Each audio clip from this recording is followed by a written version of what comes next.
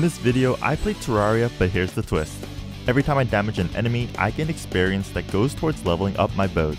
With each level, increases the damage, critical strike chance, size, and best of all, additional arrows that I'm able to shoot out. Things are about to get insane, so stay tuned to witness it. Let's get started. So getting my hands on my first weapon is very simple. I'm just going to chop down a few trees for some wood, and with the wood, I can craft the wooden bow. So let's make a workbench. And there we go, wooden bow. Now, obviously this bow is going to be short-lived because once I collect ores such as platinum or gold, I'll be making better ones straight away. I'm also going to try to craft some NPC houses as soon as possible to get the merchant to spawn, so that I can purchase arrows from him rather than trying to find them in pots or chests. Okay, 5 NPC houses should be good for now found shoe spikes. And there we go, the merchant has arrived. But I'm to keep exploring the jungle first to see what else I can find. Found some gravitation potions. That means I can get my hands on some pretty good accessories. Found the Band of Regeneration.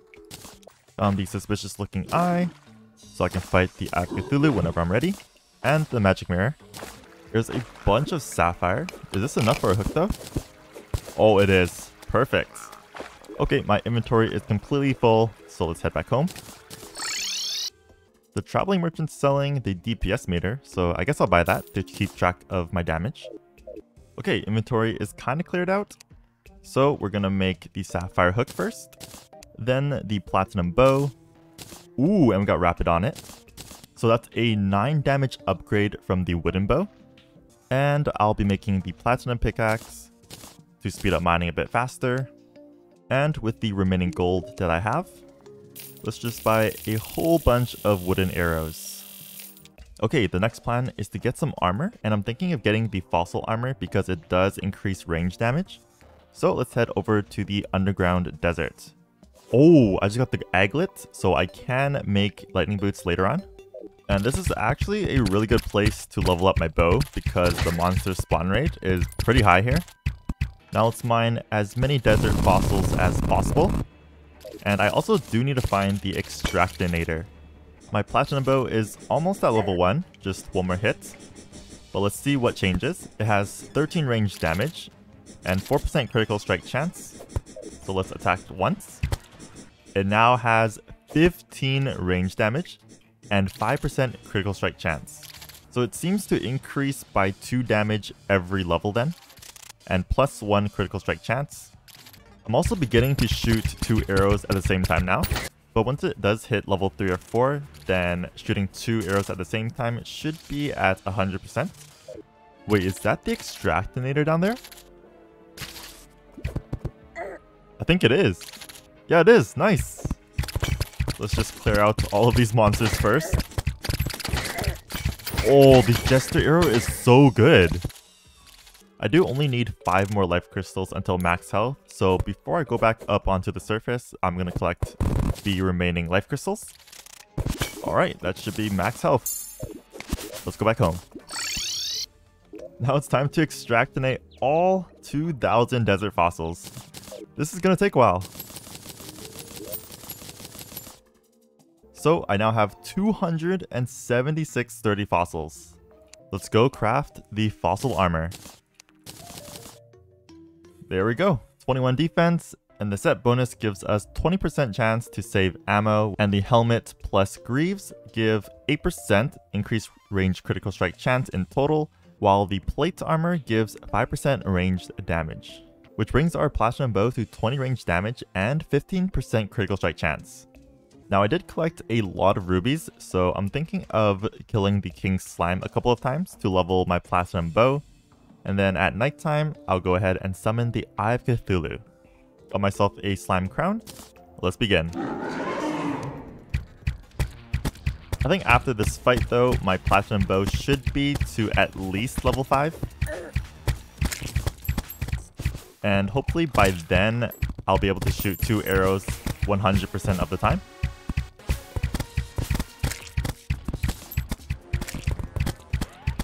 Two more hits. And you're done. Let's clear the rest of the slimes out. Okay, let's check it out. Level 4. Still not at 100%. But it is nighttime now, so I guess after the Act Cthulhu, it should be at level 5. Okay, let's begin.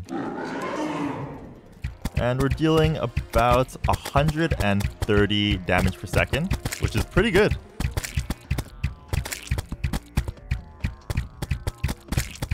Second phase already.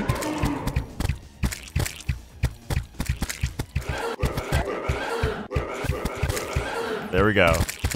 That was surprisingly very fast, considering I only have the Platinum Bow. Oh, but it's still not to level 5. It's almost there though, 5% more. Let's go one more time. Oh! The Fallen Star. Okay, there we go, level 5. And it does shoot out to 100% of the time now. But that doesn't really matter anymore because I do have Demonite Ore now which means I can craft another bow, which is a lot better. And that is the Demon Bow. Ooh, superior on it. Okay, back to square one. The boss that I'll be fighting next is the Queen Bee for a chance to get the Bee's Knees, a bow that shoots out homing bees. Okay, here's a pretty good place to fight the Queen Bee. A big, spacious area. Arena is all complete. Let's go summon the Queen Bee.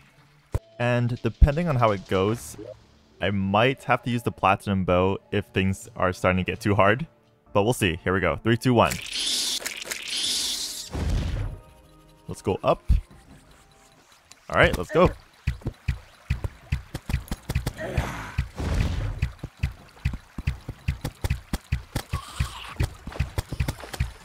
Okay, this is good. I'm starting to shoot two at the same time now with this bow. I think I'm good. I think I'll just be sticking with the demon bow then.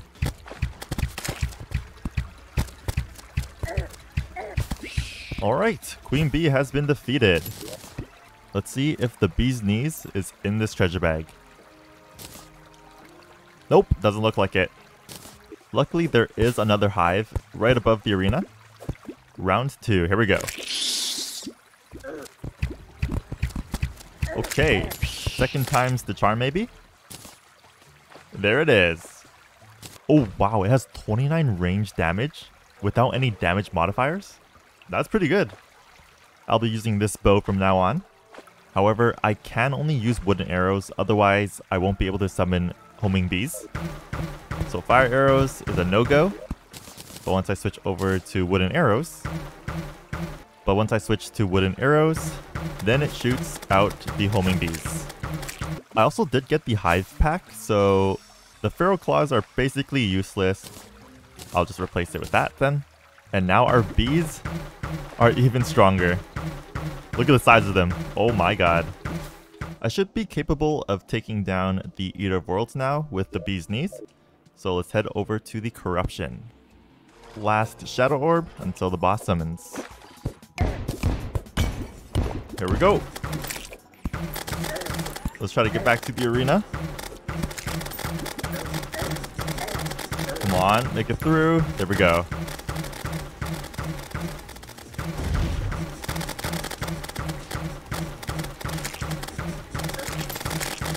Fifty percent health left. Jesus, my bees are insane.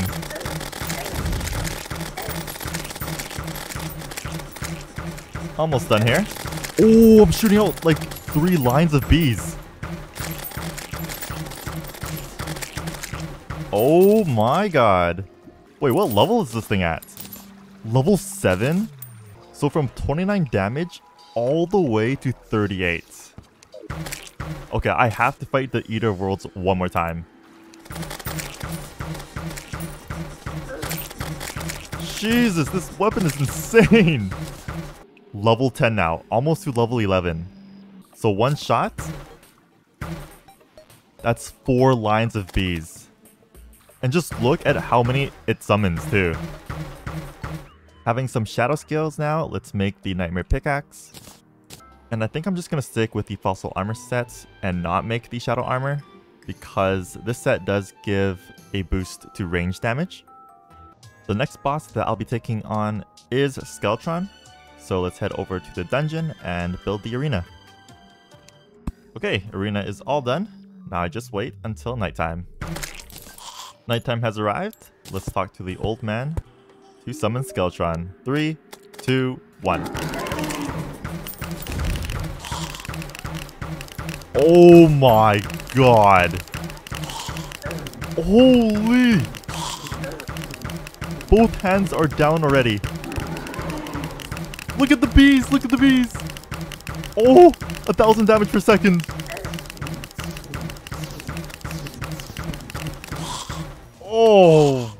Jesus! This thing is only at level 11 too. Okay, let's head down the dungeon now. And I'll be looking for the Shadow Key, as well as the Cobalt Shield. Okay, found the Cobalt Shield. And there is the Shadow Key. With the Shadow Key, I can get my hands on another bow, which is the Hellwing Bow. It can only be obtained in Hell, so let's start mining down. Okay, finally made it to Hell. And there's the Hellwing Bow.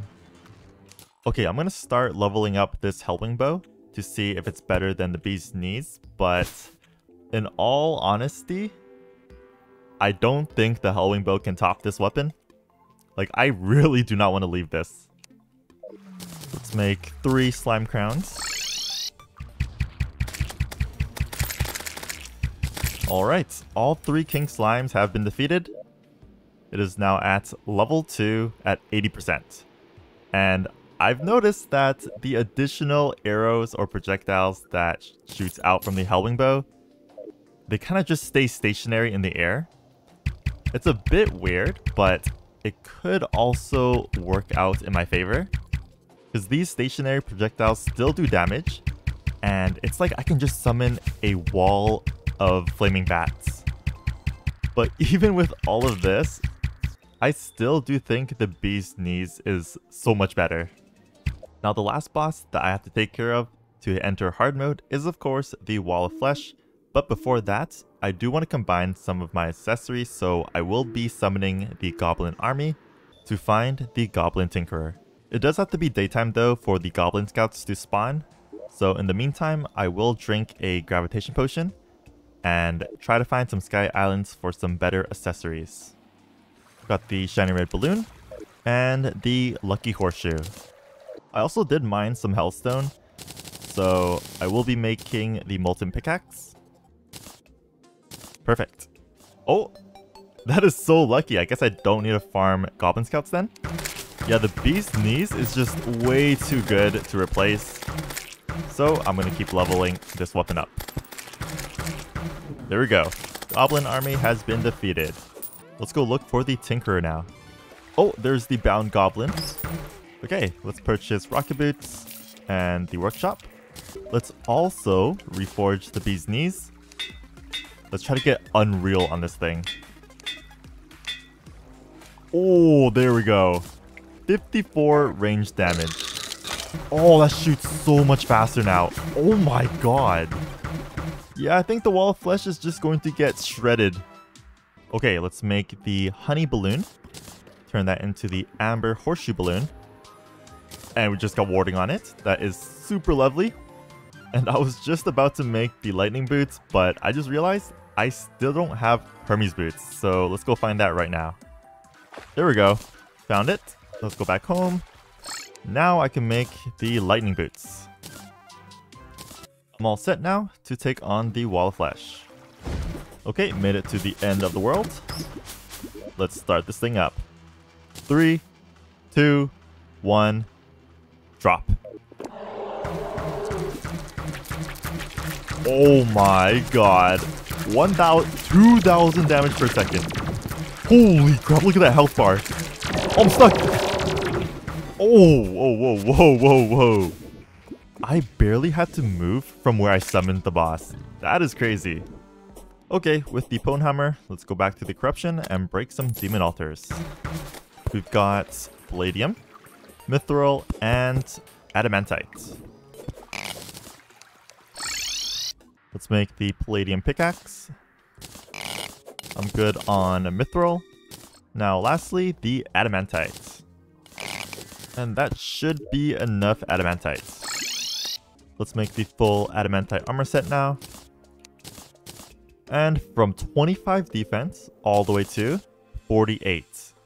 And having the full adamantite armor equipped, that brings my bee's knees to 68 range damage with 41% critical strike chance. Oh my god, that is an army of bees. And look at how look at how big some of them are too. Okay, I have some hard mode armor now. So it is about time I get my hands on a hard mode bow. Which means I will be getting rid of the bee's knees unfortunately. But the next bow that I'll be getting is the Daedalus Stormbow. And that can only be dropped from Hallowed mimics, so let's go down to the Hallowed and try to find some of them, but if I can't find any, then I'll have to manually summon them. Okay, here's one.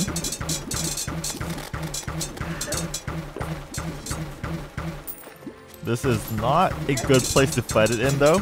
It's so cramped. Come on, kill it. Oh, there we go. First one too. Got it to deadly as well. Now to level this thing up, I'll be summoning the Queen Slime. Can I summon it here? Oh, yeah I can. Alright, here we go. I should probably bring it back home too. So I can get some life regen.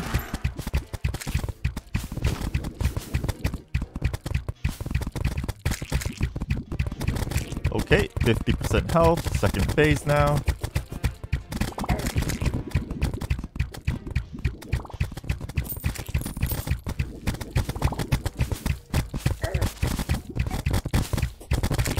And you're finished. Okay. That wasn't too bad. But with the defeat of the Queen Slime, that brings our Daedalus Stormbow to level 4. And as you guys can tell, there are a lot more arrows falling down. There's just one more accessory that I want to get before I take on the mechanical bosses, and that's going to be a pair of wings. So let's go up to a sky island to kill some wyverns for Souls of Flight, to then make angel wings, because I do have a lot of Souls of Light. Okay, that should be enough Souls of Flight, 25. And now I can make angel wings. Perfect. So the first mechanical boss that I'll be taking on is of course the Destroyer, because the Daedalus Stormbow is legit the best option against this boss. So without further ado, let's begin. 3, 2, 1. 3000 damage per second. Oh my god, I can't wait to see what level the Daedalus Stormbow becomes after this. It's already at 50% health. Oh, that was close. And the destroyer has been finished. Okay, let's check it out. Oh, it's at level 10. I think it gained 5 levels, if I'm not mistaken. Let's go summon the twins next. Here we go. And I'll be using some flaming arrows for some extra damage. I should have been using this from the start, to be honest. Wait. Wait, that thing's already at second phase? Oh, what? Wait, when did that happen? I thought I was focusing the Spazmatism first. Ooh, look at that. Oh my god, that was so fast. And lastly, all that's left is Skeletron Prime. And I'll be testing out the Hellfire arrows this time. Three, two, one.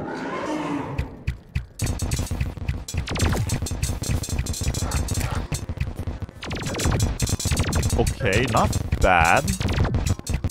I was expecting a lot more damage, Wait, let's switch back to the flaming arrows, maybe? Oh yeah, this is way more. What?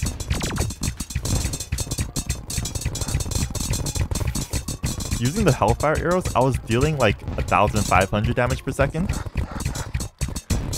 But this is well over 2,000. Yeah, look at that. 4,000 damage per second. Holy! Well, all mechanical bosses have been defeated in just one night. And that brings our level to 14. Oh my god. The size of the arrows definitely changed as well. It's a lot bigger. And obviously the amount as well. Okay, let's go make the pickaxe axe. And let's go into the jungle to mine some chlorophyte and to search for the Plantera bulb. Okay, found the Plantera bulb. So I'll be making the arena right here. Okay, the arena is all done. It's a bit narrow, but as long as my arrows can actually fall down and not hit the ceiling, then it's all good. Before I actually summon Plantera, I will be making some chlorophyte arrows. And these arrows are very good, especially with a bow that's kind of inaccurate. Because the arrows that do miss the enemy, they'll bounce back and actually home in onto them. Okay, let's begin. Three, two, one. Oh my god. There are so many arrows. What? Wait, wait, wait. Was that 8,000 damage per second? Holy crap. Oh my god, look at my screen. It's just filled with chlorophyte arrows. Now that was a sight to see. Oh my god. Let's make our way into the temple now. And depending on the size and shape of the arena in the temple, I might have to get a new bow. Okay, moment of truth. Okay, I think this is doable. So my chlorophyte arrows can reach into the arena. Oh my... I did not just do that. but yeah, I was a bit worried that the arena was going to be too small, so the arrows would actually hit the ceiling before reaching the arena. And I was able to find the wizard, so I purchased the crystal ball, which means I can make the endless quiver with 3,996 wooden arrows. Now I won't have to worry about buying them ever again. Okay, I've got 5 power cells, so I'll be using them all up for as much experience as possible.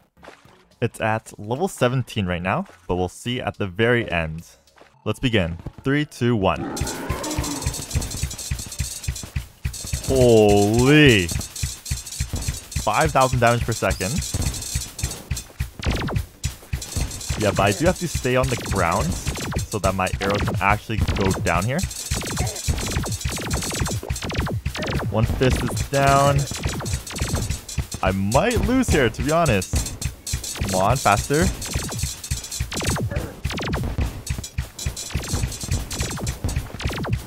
One thousand more health. Come on. No way. No way. No way. No way. No way. No way. No way. Okay, and I'm back. Attempt number two. I think I should stay on this side of the arena more, because it is kind of steeper than over here.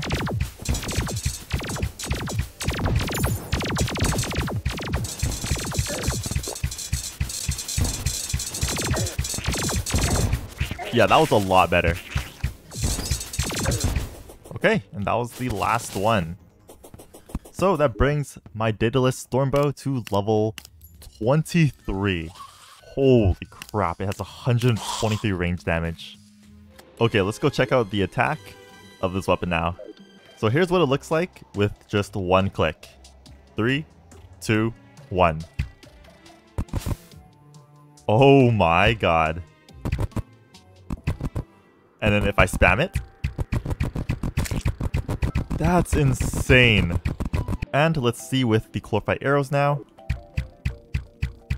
Oh my god. Holy. That has to be like over a hundred arrows on my screen right now. It's almost nighttime, so it's the perfect opportunity to get my hands on another bow. So I will be going to the Hallowed to catch the Prismatic Lacewing with the Bug Net. So let's buy that right now. There we go. And then I can summon the Empress of Light. And after defeating her, she does have a chance to drop the Eventide. Oh, there's the Prismatic Lacewing. Okay, let's begin. Three, two, one. Ooh! Dodge that.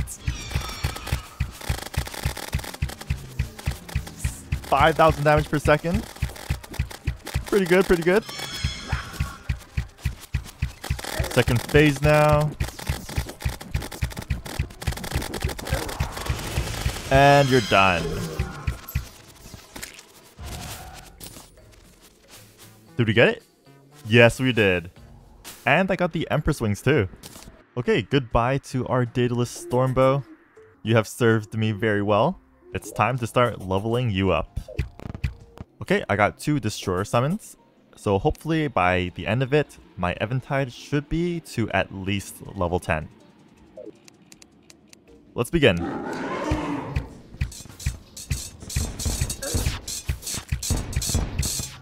Oh my god.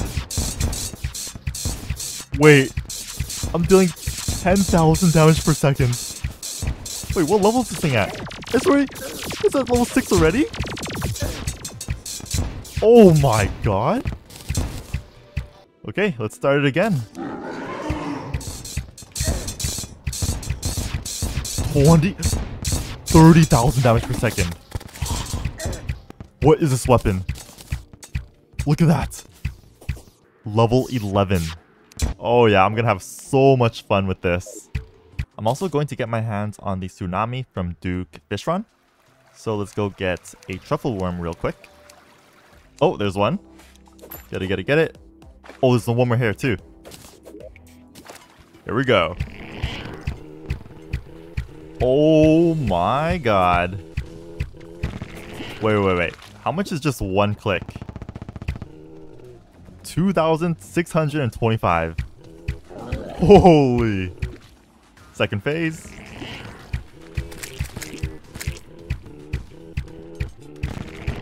And then third phase.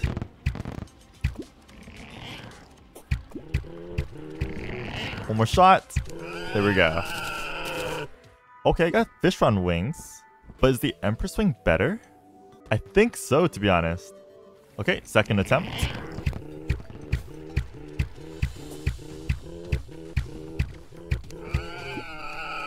Please, please, please. There we go. Strong Tsunami. Let's go level up the Tsunami with the Solar Eclipse. And the Solar Eclipse has ended. And the results of the Tsunami? Level 15. So, here's what it looks like. three Three, two, one. Oh, yeah. And then with the Chlorophyte Arrows. Jesus. Honestly, I think the Tsunami is better than the Eventide. Okay, let's reforge both of these to Unreal. There we go, that's one. And that's two. Oh yeah, way faster. All that's left is to take on the Lunatic Cultist, Celestial Pillars, and then finally, Moonlord. But during these Celestial Pillars, there is one more bow I can get, and that is, of course, the Phantasm. Here we go.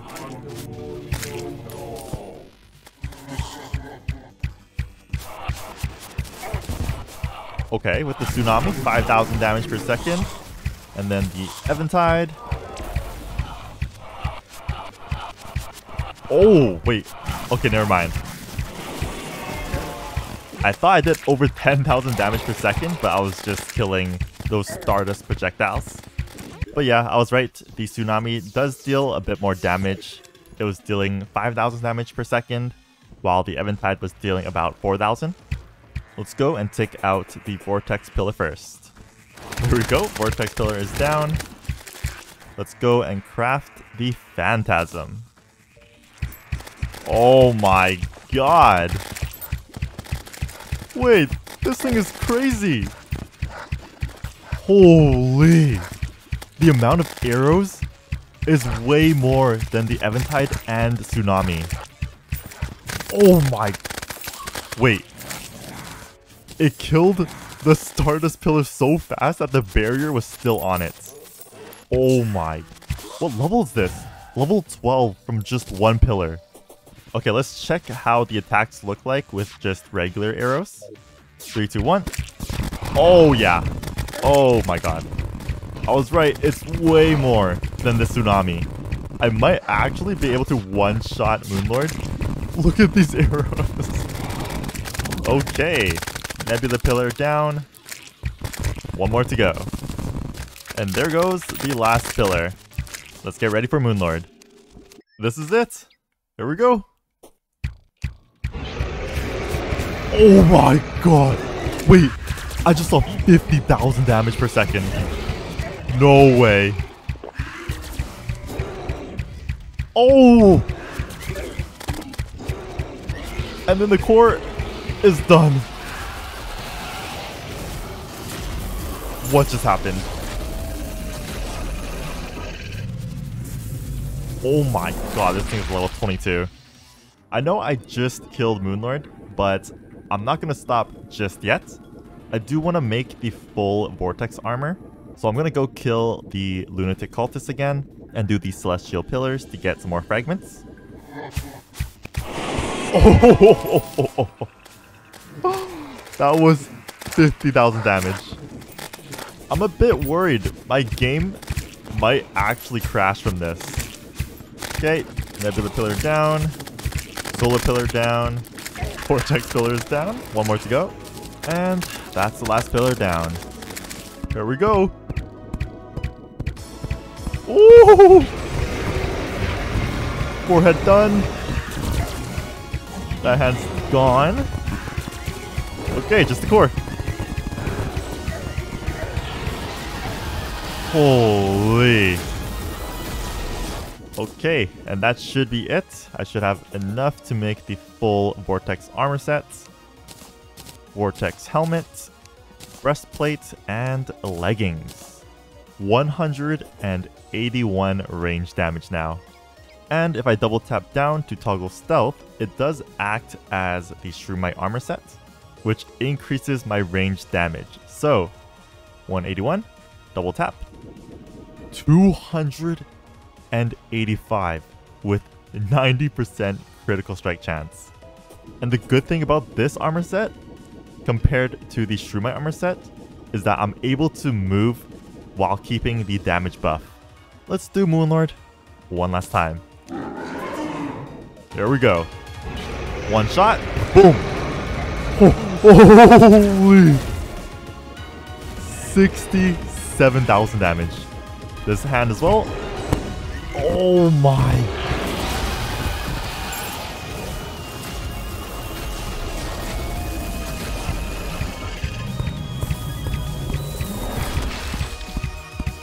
Alright, that's going to be everyone. Thank you all for watching. If you've enjoyed the video, don't forget to leave a like, comment if you have any other mods or video ideas you want me to do, and also subscribe to the channel. I'll see you all next time. Peace!